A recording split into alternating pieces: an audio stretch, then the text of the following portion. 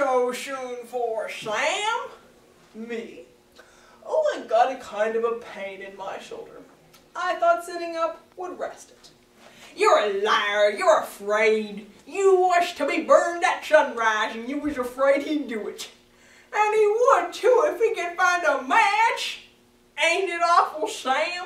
Do you think anybody will pay money to get a little imp like that back home?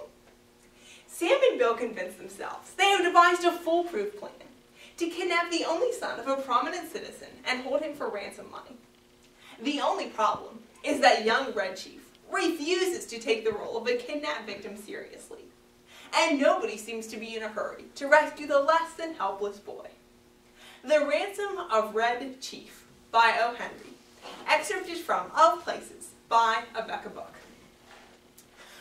Down south in Alabama, Bill Driscoll and myself, when this kidnapping idea struck us. There was a town down there called Summit.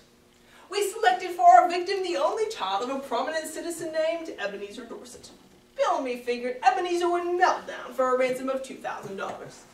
About two miles from Summit was a cave. There we stored provisions. One evening we drove in a buggy past Dorset's house. The kid was in the street, throwing rocks at a kid on the opposite fence. Hey, little boy, would you like a bag of candy and a nice ride? The boy catches Bill neatly in the eye with a piece of brick. That will cost the old man an extra five hundred dollars. That boy put up a fight, but at last we got him in the buggy. We took him up to the cave. Huh, curse pale face! You dare to enter the camp of Red Chief the Terror on the Plains? We're playing Indian. I'm old Hank the Trapper, Red Chief's captive, and I'm to be scalped at daybreak. He immediately christened me Snake on the Spy and announced that I was to be broiled at the stake at the rising of the sun. Then we had supper. He made a during dinner speech something like this. I like this fine. I never camped out before, but I had a once, and that was nine months' birthday. Are there any real Indians in these woods? We had five puppies. What makes you know so, Red Hank? My father has lots of money. Are the stars hot? Do oxen make any noise? Why are oranges round? Have you got beds to sleep on in this cave? A parrot can talk, but a monkey or a fish can't. How many does it take to make twelve? We went to bed about 11 o'clock. Just at daybreak, I was awakened by a series of awful screams from Bill. Red Chief was sitting on Bill's chest with one hand twined in Bill's hair. In the other, he had this sharp knife we used for slicing bacon. And he was industriously and realistically trying to take Bill's scalp according to the sentence that had been pronounced upon him the evening before. I got the knife away from the kid and made him lie down again. After breakfast, the kid takes a piece of leather with strings wrapped around it out of his pocket and goes outside the cave. What's he up to now? You don't think he'll run away, do you, Sam? No fear of it. He don't seem to be much of a homebody. Just then we heard, it was a sling that Red Chief had pulled out of his pocket and he was whirling it around his head.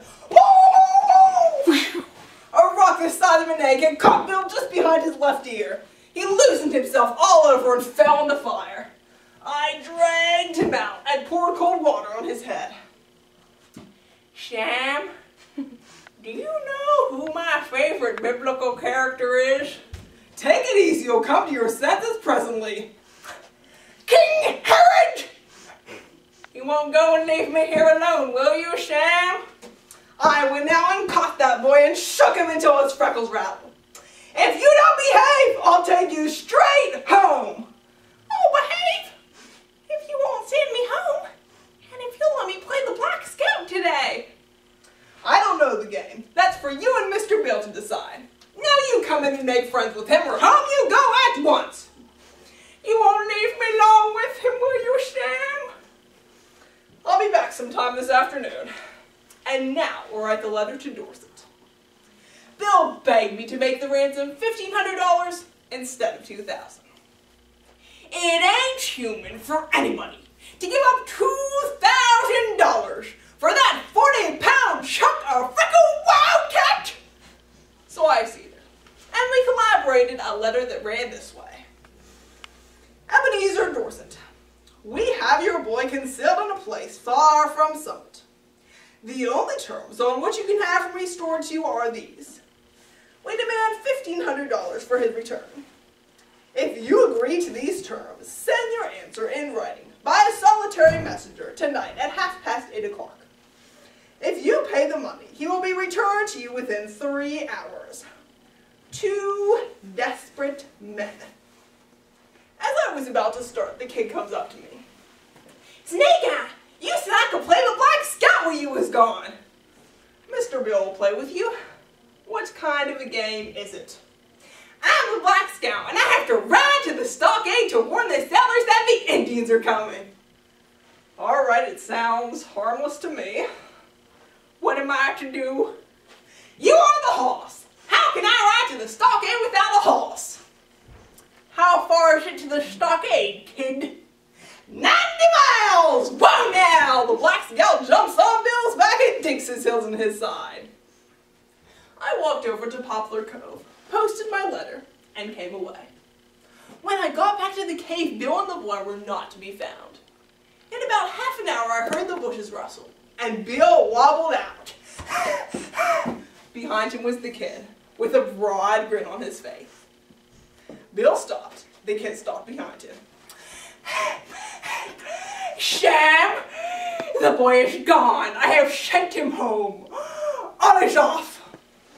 What's the trouble, Bill? I was rode the 90 miles to the stockade. Then, when the settlers was rescued, I was given oats. Sand ain't a palatable substitute. I tell you, a human can understand so much. I showed him the road to summit and kicked him near there at one kick. I'm sorry we lose the ransom, but it was either that or Bill Driscoll to the madhouse.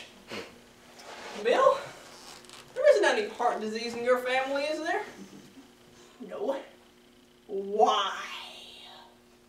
Then you might turn around and have a look behind you.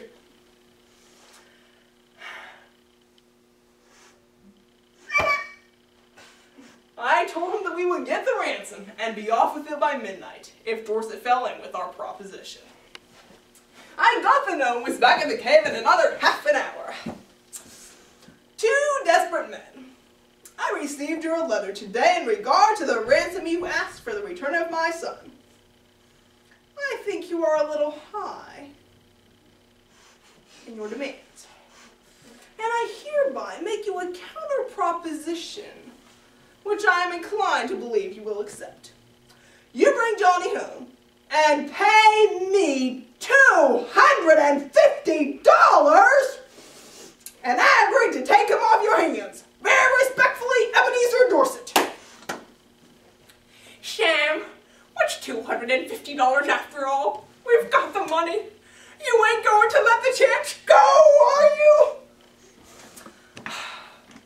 We'll take him home, pay the ransom, and make our getaway.